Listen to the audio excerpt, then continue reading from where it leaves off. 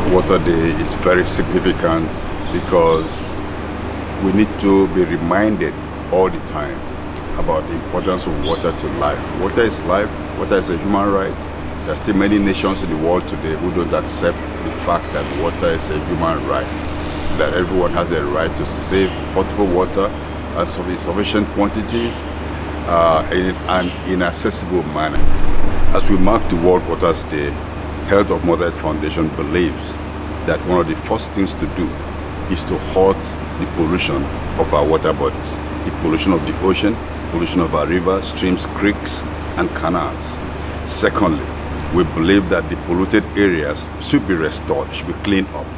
You cannot provide safe potable water, you cannot ensure sanitation because the water is polluted, you cannot use it for sanitary purposes without cleaning, restoring our water bodies, protecting them from mindless pollution.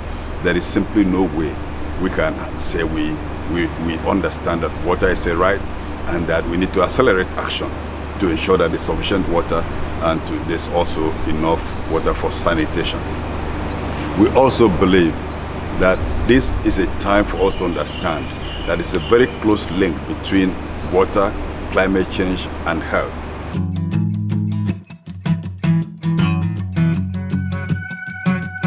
And don't, don't forget that most Nigerians, most Africans depend on aquatic resources for animal protein.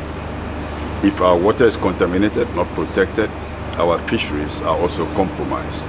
We are destroying the economies of local communities, of coastal communities. We are also harming ourselves and promoting malnutrition because we're losing a major means of nutrition.